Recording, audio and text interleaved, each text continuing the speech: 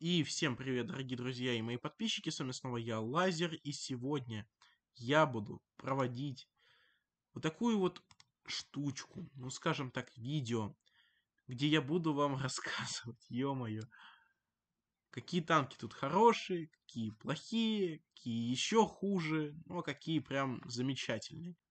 Да, э, отличная у меня идея, кстати, для ролика, потому что я сам-то особо сильно в технике не разбираюсь. Ну, в том плане, что я не тот человек, который занимается характеристиками техники и так далее, какая там лучше, какая хуже. То есть я это сделаю исключительно по моему личному опыту, а, какие, ну, какие танки у меня есть, каких танк, танков у меня нет, но при этом я знаю, что это такое. В общем, так что, ребят, если вы сразу будете против на первом же танке, так что можете даже это видео не смотреть. Ну, не то, что я вам его запрещаю, просто, ну, я могу где-то затупить. Для меня это норма. В общем, давайте начнем, наверное, с СТРВ-81. Я не помню, сколько там было изначально количество техники. Мне кажется, 4000. Потому что если бы было 6000, ну, я сомневаюсь, что настолько быстро раскупили в первый же день. А, ну, что я могу сказать? У меня данного танчика нету. То есть за него нажать нельзя, посмотреть характеристики тоже нельзя. Ну, по сути, это восьмерка. И, по-моему, он продавался несколько месяцев назад или месяц назад. Продавался он, получается, в контейнерах. И чтобы его получить, нужно было либо его достать с контейнера с шансом 5%, либо собрать 30 частей. А, ну, я, наверное, не буду на нем долго заострять внимание, только потому что, ну, таких подобных танков на восьмом уровне достаточно много. То есть взять, э, ну, вот это получается восьмой уровень, насколько я понял, и это СТшка. Насколько помню, это СТшка. А, подобных СТ достаточно много. Например, Defender, защитник – которого, кстати, все хотят. Ну, не знаю, как все, но вот у меня друг его хочет. Достаточно хорошая тачка. Ну, я, в принципе, тоже бы не отказался, если бы он у меня появился. То есть, достаточно хорошая тачка, этот Defender. Насчет СТРВ, ну, он очень сильно напоминает Центуриона. Вот обычного Центуриона, который на восьмом уровне в ветке этого ФВшки, ну, СТшка, ФВ, по-моему, ФВ-4, что-то что-то такое. Не 40.05, естественно, я не помню, что это за ФВшка. У меня она есть, у нее фугасное орудие, и, в принципе, мне она немножко даже нравится. Правда, ее многие хейтят, непонятно почему, потому что СТшка, правда, хорошая. Мне она прям нравится. А, ну, в общем, что насчет СТРВ? Ну, не знаю в принципе, ну, за 10 тысяч явно его покупать нет смысла. Потому что, во-первых, это просто Центурион, и просто, ну, вот, как-то изменен немножко. То есть, вот эти уши у него, скорее всего, не пробиваются, а вот сюда его будут пробивать спокойно. То есть, подобных танков, ну, на восьмом уровне хватает. То есть, если рассматривать что-то подобное, лучше уж взять Defender. Он хотя бы барабанный, у него, по-моему, ДПМ неплохой или хреновый, не помню, но э, пушка у него хорошая. Вот это я точно знаю. И броня у него, кстати, тоже замечательная. Его, у него, по-моему, нету вот этих вот лючков. А если есть, то они минимальные. А, дальше. ТС. Ну, честно сказать, хрень. Когда ее еще выпускали, по-моему, она тоже была в контейнерах. По-моему, да, она как раз была в контейнерах, но это, правда, было год назад. Ну, блин, я не знаю, кому она нужна. Ну, в принципе, цена сама за себя говорит 5600. Хотя, мне кажется, она должна стоить чуть дешевле. Хотя бы ровно 5000. Потому что, ну, мне, ну, блинчики. Я не против поиграть на ПТшках, если это ПТ нормальные. Не Черепаха, не Т-28, не Т-28 Defender, хотя его, ну, некоторые люди любят. То есть, в принципе, тачка-то не знаю, по-моему, по-моему, она фигня, правда. Потому что для чего вы вообще покупаете премиум танки? несколько причин.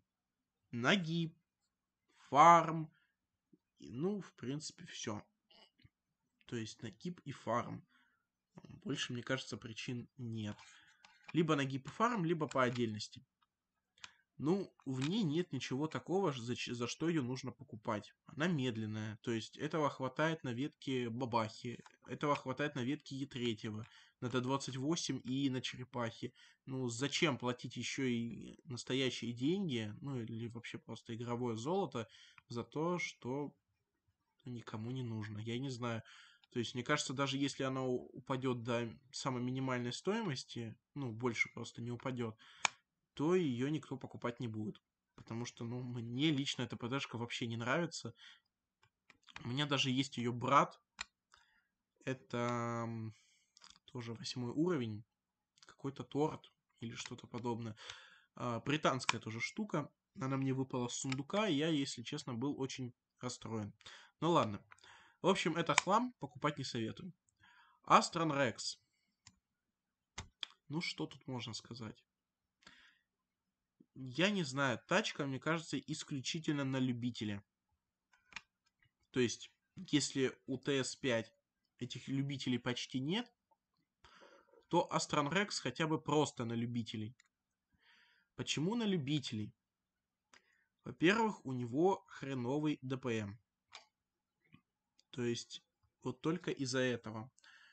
А, я даже говорю не про статистов. Я вообще, в принципе, говорю про любителей, потому что у человека может быть процент маленький, он может хорошо играть, ну, то есть процент не показатель, ребят. Показатель это средний урон. Вот я считаю именно так. Процент, я считаю, ну, в большинстве случаев, правда, может быть показателем, но порой, я считаю, он не играет роли. Почему? Потому что, если человек играет хорошо, это можно сразу понять по среднему урону, у него может быть слабая статистика. Почему это может быть? Потому что ему не везет на победы. Если ну, вам попался, скажем так, человек, который просто твердит, что у него офигенная статистика, а все, что ниже, это хлам, ну, ребят, это не показатель вообще. Показатель это средний урон. Я считаю, на него лучше всего надо и смотреть. То есть средний урон на танках, средний урон, который по аккаунту. Это самое важное. Так вот, вернемся к Астрон Рексу. Почему штука на любителя? ДПМ, как я уже сказал, ужасный. Брони никакой нет, то есть его спокойно пробивают в НЛД, то, что выше НЛД, его даже в башню возможно пробить. А про вот эту вот, скажем так, шишечку я вообще молчу. Ну, на то и понятно, он стоит 7600 потому что, поскольку, ну, не знаю, поскольку не поскольку, но взять того же СТРВ, он стоит 10 тысяч. Хотя он продавался достаточно, ну, не сколько давно, по-моему, он продавался месяц назад. Ну, раз он стоит 10 тысяч, а этот 7600, ну, прям явно видно, что они в этом, отли... Э, ну, то есть у СТРВ явно больше любителей. Хотя почему-то... А, ну, хотя Астронрекса почему купили? Потому что цена меньше. То есть это тоже играет роль. Но мне кажется, если выбирать хотя бы этого Астон Рекса и СТРВ, если вы хотите прям нагиб, то лучше уж взять СТРВ. Но опять же, я говорю, лучше подождать Дефендера и купить его. Либо другой подобный танк. Ну, средний. Потому что подобных танков, ну, достаточно много, как, ну, именно как СТРВ. Астрон Рекс у меня он есть, правда, на евросервере мне он не понравился. Я пытался на нем хотя бы какой-то средний урон держать, но э, у меня не получалось, потому что не хватало ДПМа. Ну, то есть он его он слишком большое КД, вот так вот скажу. А урон, блин, а урон между снарядами, чё, чё я говорю? А урон обычный, ну, от снаряда очень-очень маленький. То есть, по-моему, 200 или 250, вот так вот. То есть, если даже брать хорошего барабанщика, то уж лучше брать, опять же, того же Defender. Не потому, что я рекламирую его вам купить. То есть, просто в сравнении, то, что он реально лучше. То есть, давайте даже вот, у меня тут уже есть сравнение. Давайте сейчас не здесь напишу. Aston Rex и Defender. Вот он. Давайте его даже сравним ДПМ. Вот, как видите, ДПМ у них существенно отличается. И на минуточку, у, у защитника вот этого... А, это пробитие, ё-моё. Альфа 290. Да, вы можете сказать, это классно, это топчик. 21 КД. 21 КД. КД играет огромную роль. По сути. Я считаю, что правда. Во-первых, у него ХП больше. Дальше давайте посмотрим броня. А, где броня вообще? УВН. А, ну УВН у них одинаковые. А, нет, у защитника даже УВН лучше. То есть на этом танке, ну, даже от УВНов не поиграешь. То есть ладно бы у него были УВНы хотя бы. Это бы хотя бы как-то компенсировало бы такое КД. Но нет, у него УВНов даже нет. Так, где броня? Так, это доходность. Броня, вот. Защитник. Астрон Рекс. 85. Да, вы скажете, броня лучше. Это... А, это, это вообще броня корпуса. Я не туда смотрю. 120, 254. То есть, если бы у защитника было даже КД больше, он по броне выигрывал бы. У него нет вот этой фигни. То есть, она даже есть, как видите, но она минимальная. В нее при игре от УВН, в принципе, попасть очень-очень сложно. То есть это уже о чем говорит. А в этого, если включить голду, хоть в чоки стреляй, хоть в эту шишку огромную, то есть о чем я и говорю. То есть эти оба, ну, как бы... Ой, как, как их убрать? Так, нет. Короче, защитник лучше. Все. Больше мне нечего сказать. Я не знаю, почему-то этот Астронрекс и защитник не убираются. Ну ладно. Ладно, пусть они здесь сидят. Дальше. Скорпиоша. Танчик замечательный но только пушкой. И чем больше. То есть э, пушка замечательно попадает в пик, в пикс, ну да, в пиксели. Я лично вам советую подождать, когда его цена упадет хотя бы до 7000, ну или до 7500. Но мне кажется, она однозначно упадет, и вот тогда его покупать. Ну, потому что, как бы, чем меньше цена, тем вы, ну, выгоднее и лучше. То есть, ну, поэтому он стоит достаточно дорого можно сказать, лучше, чем Aston Rex, и, ну, недалеко от СТРВ, хотя непонятно, почему СТРВ вообще стоит 10 тысяч. Я не считаю, что он реально такая имба, которая стоит 10 тысяч. Ну, мы про золото еще потом поговорим. Так вот, ГСОрчик уже дальше идет. Тачка тоже хорошая. Пушка замечательная. Не такая, конечно, как у Скорпиона, но замечательная. Барабан великолепный. То есть танчик прям хороший. Да, и стоит он, в принципе, дешевле, чем Скорпиончик. То есть, если у вас ограниченный бюджет, в принципе, вы можете взять и ГСОРа. То есть, он даже, конечно, чуть лучше по броне, но какая там броня будет играть роль? То есть, никакой, в принципе, роли там она играть и не будет. Ну, конечно, у ГСОРа больше шансов танкануть по сравнению с, с, с этим, со Скорпионом, но все же. Что касается в принципе, этих обоих аппаратов, конечно, я бы взял, наверное, Скорпиона. Ну, потому что пушка великолепная, правда, пушка огонь. А, это тоже хороший, то есть пушка хорошая, подвижность, ну, подвижность, ладно, мы не будем рассматривать. А, пушечка прям тоже хорошая. Ну, если выбирать между этими двумя, я бы выбрал бы все-таки этого Скорпиончика. Но ГСО тоже хороший. То есть покупочки тоже советую. Круп, вот этот Стирваффентрагер. Короче, ужас какой-то. Ну, у меня эта машина не совсем присутствует, скажем так. Она у меня есть на другом аккаунте, который, опять же, на Евросервере. А, но я не так часто играл на этом танке. Так что я не могу про него ничего слова совсем сказать. Вот от слова совсем. То есть, в принципе, танчик-то хороший, по-моему. Ну, естественно, только пушкой. То есть ничего более тут рассматривать нет смысла, поскольку это картон. По-моему, он прям даже неплохой. И его, насколько помню, можно даже было получить бесплатно на каком-то ивенте. Самое интересное, что на Европе-то я его забрал, а на СНГ я его не забрал. Я не знаю, почему я так решил забирать, но на Европе у меня меньше танков, я хотел бы и там все прокачать. Вот так вот честно, я не знаю, насколько этот танк хороший, но, в принципе, он стоит 5000. Ну, семерочка, я думаю, можно немного подождать, пока он упадет, там до какой-то определенной цены, и тогда уже можно его будет покупать. То есть, ну, танчик, в принципе, неплохой, я думаю. Камф Панзер 70 или КПФПЗ 70. Тачка хорошая. Присутствует броня, присутствует бабахалка, ну, если это можно так назвать. А, ну, броня есть только в башне. Но какая броня? В щеки пробивают сюда-сюда, а, в, в эту штуку пробивают, так что от УВНов тут не получится поиграть, да у него и, по-моему, УВНов-то нет. А, ну, для чего этот танчик? Мне кажется, просто вот выезжать, тычку дал, и все. Больше ничего. Ой, больше ничего. От слова совсем не получится на нем сделать. Только вот тычечку и все. Ну, в принципе, танчик хороший тоже. Если цена будет достаточно неплохая, то есть, например, за 7 тысяч, я думаю, забрать его можно. Танчик, правда, хороший. Шкода.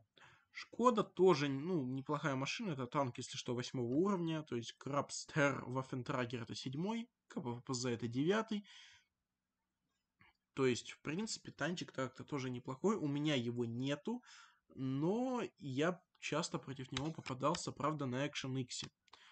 В общем, у него вся голова красная, несмотря на то, что у него присутствует этот лючок, его могут пробить только танки с хорошим пробитием. Ну, не то, что даже с хорошим, а с отличным, скорее. Вот эта штука, ну, то, что выше НЛД, назову ее так, она тоже красная, и можно пробить только НЛД. То есть для турниров эта тачка хорошая, даже очень хорошая. А, я не помню, по-моему, у нее есть УВНчики. По-моему, у нее есть УВНчики. Стоп, это же Шкода 50... Да, это, по-моему, тяжелый танк, насколько я помню. Это тяжелый танк.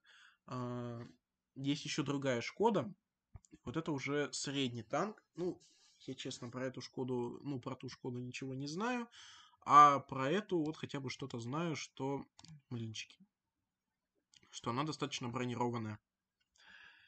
Ну и, в принципе, к покупке тоже могу советовать, но желательно покупайте, вот всегда, ребята, покупайте, когда цена максимально будет минимальной. Насколько вот вы успеваете, ну вот при нас купили ее только что, а, максимально, как только вы успеваете ее купить, по максимально маленькой цене, ну, насколько вы успеете. То есть, так, понятно, какая-то ерунда открылась, так вот, конечно, танчик хороший, правда хороший, то есть, я думаю, купить его тоже можно. ТС-60. Ну, она как бы тоже попад... попадалась. Ну да, она попадалась мне в боях. Она продавалась в контейнерах. По-моему, люди говорят, что танк сильный. Но я не знаю. Это ПТшка, если что. Это не тяжелый танк. Это ПТшка. Я про нее вообще ничего не знаю, поэтому про нее мне сказать нечего. От слова совсем. Если про того старого Фентрагера мне еще как-то можно что-то сказать, потому что он у меня присутствует, а этого танка у меня вообще нет, и я, ну, мало что про него знаю, слова почти совсем не знаю. Я знаю, что у него вот это по-любому все красное, вот сюда его будут пробивать, а вот сюда, ну, НЛД достаточно небольшое. Но опять же, здесь не получится, скорее всего, поиграть от углов. Ой, не от углов, а от этих. От бортов. Не получится, в принципе, поиграть, потому что, ну, тут нет экранов и нет вот дополнительной защиты. То есть, если, ну, тут прям нужно максимально прижиматься прямо, чтобы поиграть от вот этих вот бортов. ВНов тут никаких нет, потому что танк заднебашенный. Поэтому, ну, не знаю, в принципе, стоит 7500. Не, ну с другой стороны, если покупать что-то хорошее, вот та же Шкода за 7000. Типа, зачем далеко идти, если вот тоже хороший танк Шкода. Поэтому я немного не знаю. Вот так вот. Ну, я бы, конечно, если выбирать между этими двумя, выбрал бы Шкоду. Кстати, напишите вообще в комментариях, ТС-60, насколько хороший танк, вот, в принципе. Может, я правда о нем вообще ничего не знаю. Вот. Ладненько, идем дальше. У нас идет Хелсинг. Ну, что Хелсинг, что Дракула, они оба хорошие. То есть, я думаю, тут про них вообще нет смысла рассказывать. Их покупают на Новый год практически почти в первый же день раскупают, но сегодня видимо, не купили, потому что... Ну, потому что не купили. А, нет, не в первый же день раскупают. В первые два или три дня, вот так вот. То есть это вот лидирующие танки, которые, которых раскупают постоянно. Ну, вот так вот, типа свет и тьма и все такое. Ну и, понятное дело, они будут стоить достаточно дорого, как для своей цены, как для своего уровня. Ну, вот так вот. Это, конечно, да, это жесть. Ну, в любом случае, если даже вы хотите его купить, подождите, когда хотя бы она упадет ну, до более-менее разумной цены. И, конечно, если останется еще эти танки, ну, в продаже. Вот так вот. Ну, ладно. Все равно, что Хелсинг, что Дракула, я их никогда не покупал на аукционе, я их доставал из сундуков. Э, ну, типа, они мне оба нравятся. У этого броня, двухстволка, у того скорость. Ну, типа, все. А, ну еще гусляться. Это чинится очень быстро. Вот так вот. Буфор Стардвагон. ну, давайте я даже не буду ничего говорить про него. Я покажу тут, ну, на вот этом сайте. А, если что, цифры брони, ну, по сравнению вот с Action X и Акулой, они не играют от слова никакой роли. Ну, то есть, по крайней мере, броня в башне. И я расскажу потом почему. Вот. Ну, давайте начнем, наверное, с ДПМа. Понятно, он у них будет ниже. Кстати, что интересно, акула недалеко от этого Торнвагона. Я думал, у нее ДПМ получше. Почему я сравнил именно вот с этими танками? Потому что у Торнвагона, где ВН 10, у Экшена 10, и у Акулы тоже 10. И, кстати, у Защитника тоже 10. Ну, по-моему, я уже говорил это.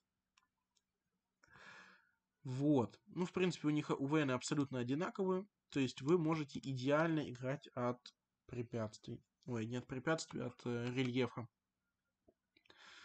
И почему вы можете играть идеально? Опять же, расскажу чуть позже. А, начнем, наверное, вот с, именно конкретно с ДПМа. Почему он у них сильно отличается?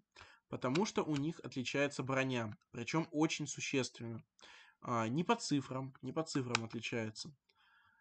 А, сейчас, где вот даже броня, Форстурнваген 250, а, нет, стоп, это корпус. 270, хотя нет, она у него даже больше. Я думал, она у него меньше. Так, ладно, прошу прощения. Она у него больше, чем у экшена, она у, больше, э, она у него больше, чем у акулы. Хотя мне всегда казалось, что у акулы броня лучше, чем у экшена, потому что у нее вот этой шишки нет.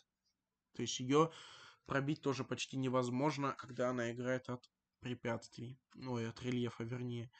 А, броня корпуса, ну, просто титановая по сравнению с тем, что вот у них, мягко говоря, просто вот реально титановая.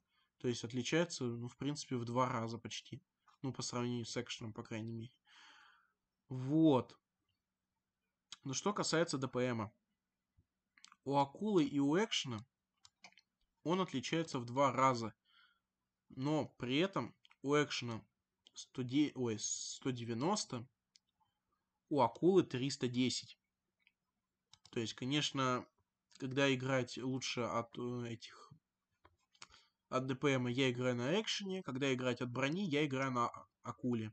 То есть они мне оба нравятся. Я их обоих покупал, не помню, на аукционе или нет, это было давно, но они достаточно оба сбалансированы. То есть экшен даже немножечко имбовее за счет своего ДПМа. Просто цыганского ДПМа, я бы даже сказал. Вот, но теперь Торнвагон. Он, кстати, что интересно, недалеко от акулы. Но, в принципе, как по ДПМу, так и по перезарядке. Ну, в принципе, можно сказать одно и то же. Ну, хотя нет, не одно и то же. Ладно, тут я сглупил. Так, ладненько. Насчет ДПМчика, ой, насчет перезарядки. 12 секунд, 8 секунд и тут 4 секунды. Ну, 4 с чем-то. Насчет альфы 400, 190, 30, 310. Но почему я сказал, что броня у них, ну, у него кардинально отличается? Даже не по цифрам, а потому что у него маленькая башня. Она настолько маленькая, что там даже нет люка. Этим он и очень сильно отличился от Action X и от Акулы. у него очень маленькая башня, и ее невозможно пробить вообще ничем. То есть какой бы вы ни взяли калибр, ну, на восьмом уровне, по крайней мере, да и, возможно, на девятом тоже, вы не пробьете его в лоб никогда.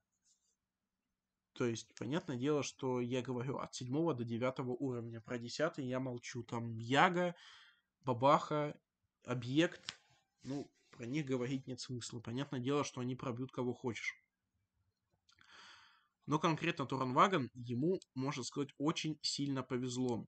То есть мало того, что у него маленькая башня, она полностью красная, и на восьмом уровне нету такого, таких танков, которые способны его пробить просто в лоб.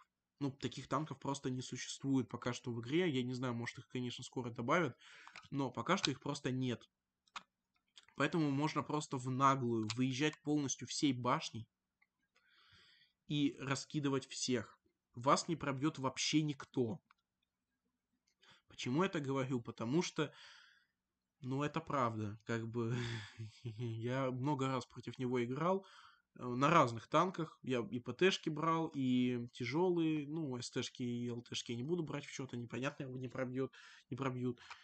Вот, ну, можно сказать, что его, в принципе, невозможно пробить ничем на этих уровнях. Поэтому в этом он имба. Я еще сразу подумал, а что это разрабы сразу выпускают танк? Ну, понятное дело, в сундуках.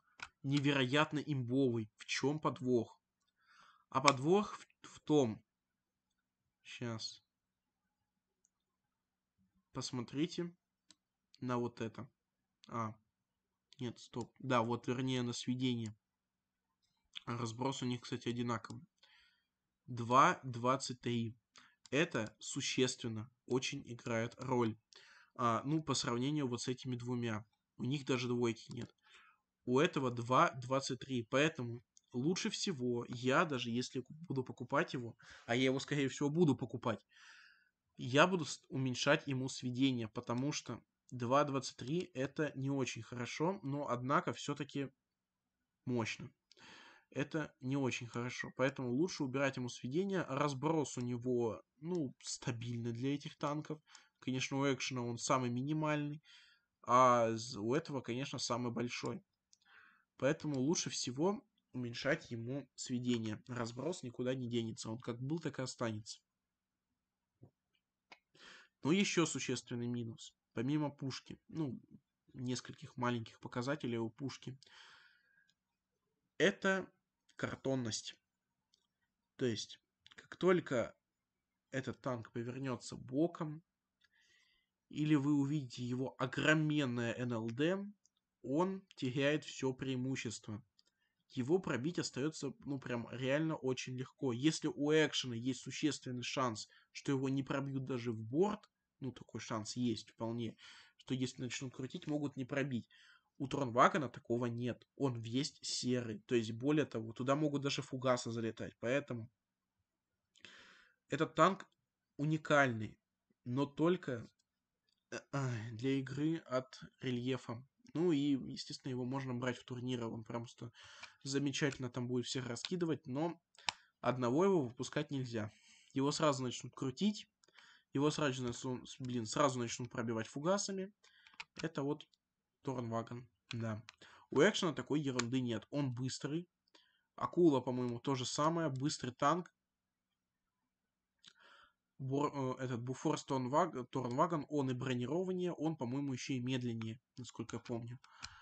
Давайте даже проверим. Подвижность. Скорость 37. А, 36. Стоп. Не, у него же скорость... А, скорость поворота Заднее шасси. А где... Ладно. Мне казалось, что... Видимо, я много чего о нем не знал, но теперь я знаю. Ладно. Но в любом случае вас начнут крутить, потому что у вас слабенькие борта будут на этом танке. То есть, даже если он будет как-то откручиваться, все равно начнут крутить. Корма, я про нее вообще молчу, если в борт даже могут фугасы залетать. В общем, танчик очень хороший. А в умелых руках это вообще имба. В прямом смысле. Да, в принципе, да и не в умелых, он тоже имба. А, так что, ну, в принципе, я его, скорее всего, буду покупать. Ну, его достаточно тоже неплохо раскупили. Я его буду покупать, когда он будет стоить хотя бы 6 тысяч. Потому что все золото, ну, не все, по крайней мере, большинство золота я буду тратить на новогодние коробки, которые буду открывать на стриме. Вот так вот. Так что можете приходить. Танчик хороший. Танчик, конечно, хороший. Но, вот, опять же, есть существенные минусы. Это сведение это огромное НЛД и вот сюда пробитие фугасами. Но про вот это вообще молчу. В общем. А, Defender даже появился, а я его даже не заметил изначально.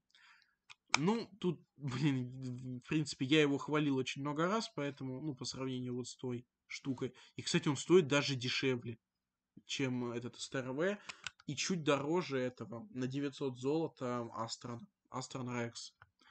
Так что, ну, блин, покупайте лучше его, правда, потому что его уже начали раскупать активно. Чифтейн. Чифтейн.